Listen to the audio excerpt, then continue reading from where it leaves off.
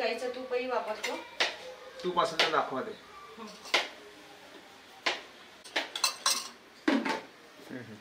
चला चला चला.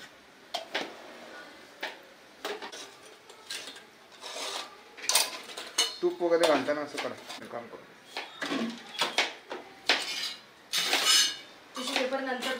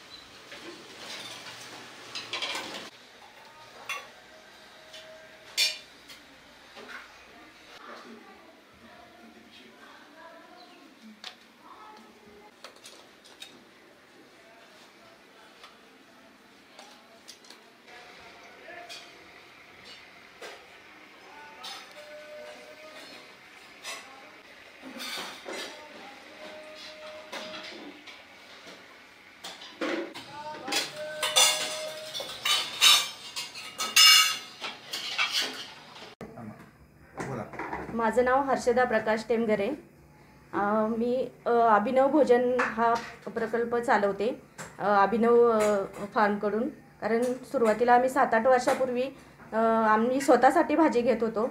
नंतर मग गिरायकांचा म्हणजे बऱ्याच लोकांचे हे यायला लागले की आमच्यासाठीही भाजीचा व- हे चालू करा म्हणून. आम आम्हालाही पाहिजे म्हणून भाजी. ऑर्गॅनिक भाजी कशी मिळेल म्हणून. तर मग आम्ही अभिनव फार्मकडून भाजीची सुरुवात केली. लोकांना भाजी होम टू होम डिलेवरी देण्याची.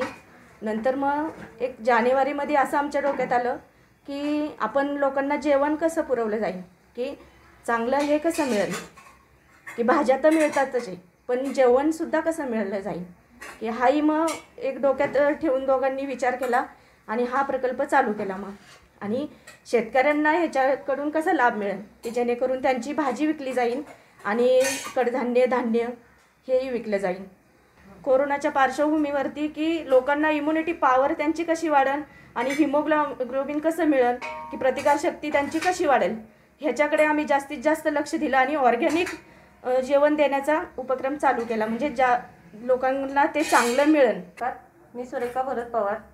हा टेमघरांनी जो अभिनव फार्मचा विषमुक्त अन्न भोजन यासाठी जो उपक्रम केला आहे त्यात मी डायट फ्रूट सांभाळते.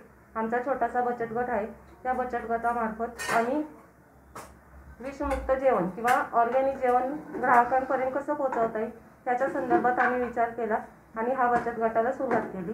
आणि ह्याला प्रतिसाद म्हणून किंवा ह्याला प्रोत्साहन म्हणून शेतकऱ्यांकडनं त्यांच्याकडचं ऑर्गॅनिक भाजीपाला किंवा कडधान्य हे सगळं घेतो.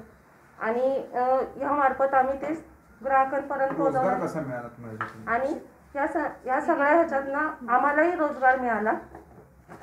आम्हालाही रोजगार मिळाला. शेतकऱ्यांनाही यातनं फायदा झाला.